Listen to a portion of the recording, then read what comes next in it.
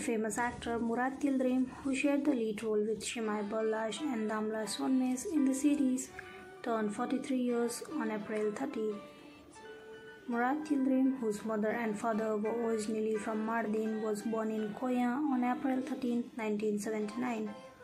The actor wrote the following in his post Dear family and friends, April 30th is my birthday.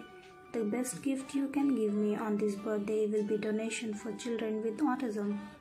You can reach the campaign link I opened for in my bio. Thank you for your support.